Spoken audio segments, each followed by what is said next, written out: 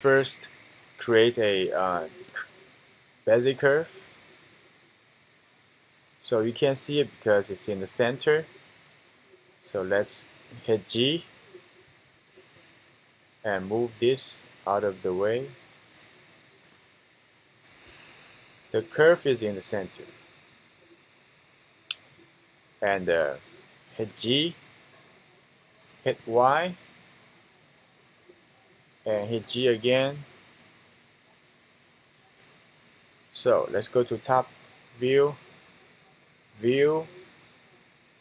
Viewport top.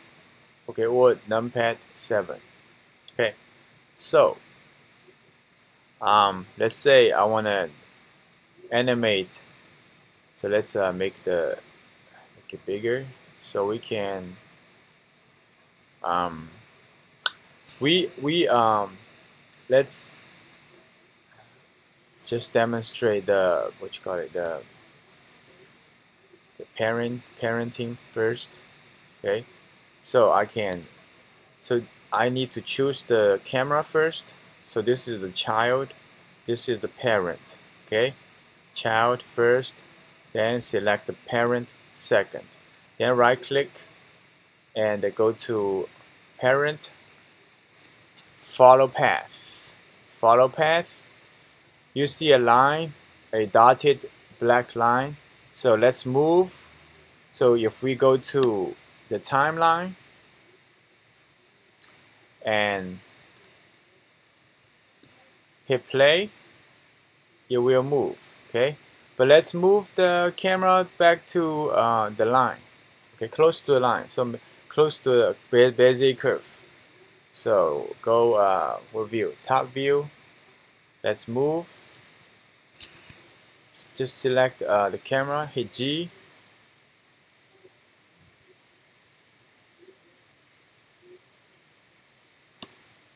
Go to first frame. Let's go to frame 0 um, go to just hit G and uh, hit Z constrain it so down then go to top view again hit G. So I hope oh it's still far off. So it's uh, go to um, side view viewport front back front hit G. Okay so finally transform this. Okay so let's play it moves it moves along to the okay so toggle camera view let's play it. Oh where's the object? Okay so first let's try to lock view. Okay. Let's just pan around. It's too far away.